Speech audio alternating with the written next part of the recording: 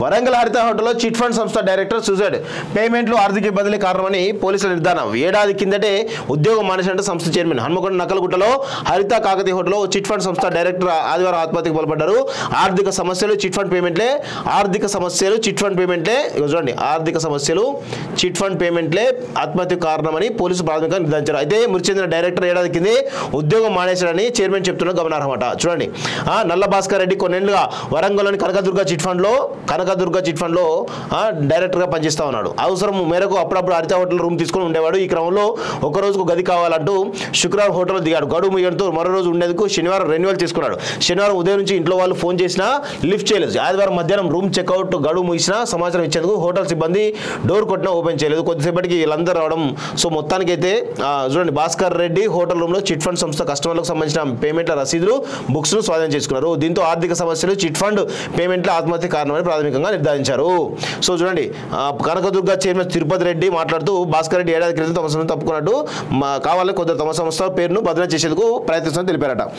అయితే వరంగల్లో చాలా పెద్ద ఎత్తున ఈ చిట్ ఫండ్ కంపెనీలు ఏవైతే ఉన్నాయో పెద్ద ఎత్తున కనకదుర్గ కానీ అక్షర కానీ ఇలా చెప్పుకుంటూ పోతే చాలా చిట్ ఫండ్ సంస్థలు ఈరోజు పెద్ద ఎత్తున వీళ్ళు డబ్బులు ఆ చిట్ ఫండ్లతో డబ్బులు కట్టినటువంటి చాలా మంది వాళ్ళు కూడా ఈరోజు పెద్ద ఎత్తున డబ్బులు ఇచ్చి మోసపోయినరు. డబ్బులు తిరిగి ఇవ్వకుండా మేము ఆ భూమి రిజిస్టర్ చేస్తాం ఈ భూమి రిజిస్టర్ చెప్పేసి బెదిరించుకుంటా తిరుగుతా ఉన్నారు ఈ దొంగలంతా. ఈ తిరుపతి రెడ్డి కానీ వీళ్ళంతా దొంగలు.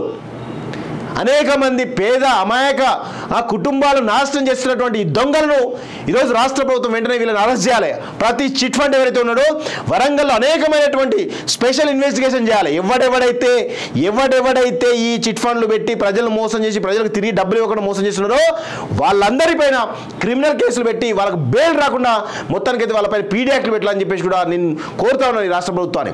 ఈ దొంగలు ఈ కనకదుర్గ కానీ అక్షర కానీ చాలా చిట్ ఫండ్ కంపెనీలు ఏవైతే ఉన్నాయో వీళ్ళందరూ కూడా ప్రజల్ని మోసం చేస్తూ ఉన్నారు. అమాయకమైనటువంటి పేద ప్రజల దగ్గర డబ్బులు ఈరోజు చిట్ చిట్ ఫండ్ పేరు డబ్బులు తీసుకొని కట్టించుకొని తిరిగి డబ్బులు చెల్లించకుండా మోసం చేస్తూ ఉన్నారు.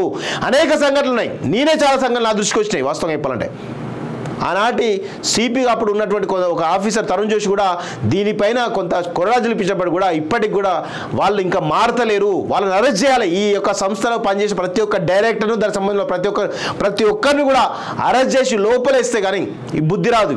దీనికి సంబంధించి పోలీస్ డిపార్ట్మెంట్ ముఖ్యంగా రేవంత్ రెడ్డి కూడా అనేకమైన సంఘాలు జరుగుతాయని దీనిపై దృష్టి కేంద్రం చెప్పేసి కూడా నేను కోరుతా ఉన్నాను.